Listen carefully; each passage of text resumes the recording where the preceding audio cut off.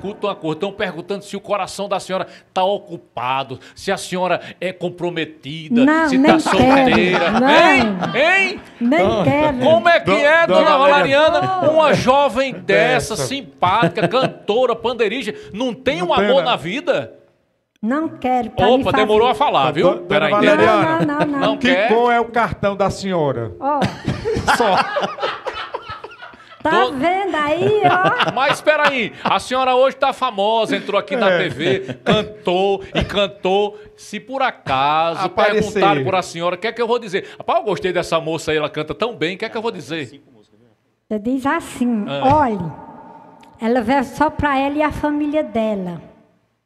Mas, mas a senhora não respondeu o que eu perguntei, não. Que cor é o cartão? Não vou dizer.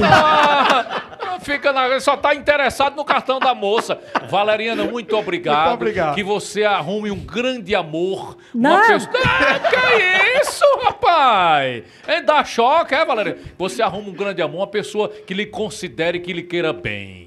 É. Não tem esse. Ave Rapaz, Maria. eu já perguntei que cor era o cartão, né? Não, fique quieto que eu gosto de cartão, rapaz.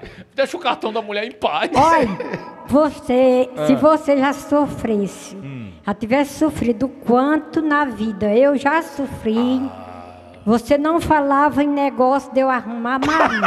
Ah, então vamos esquecer. Vamos virar essa página, porque tem caba que dá trabalho na vida Tá da, da doido, mulher. homem? Ave Eu já sofri demais, eu não sei como eu não já morri. Então, obrigado, Valeriana. Valeu, minha querida. Um Foi beijo pra bom, dona você. Valeriana. Valeu, muito bem. É isso aí.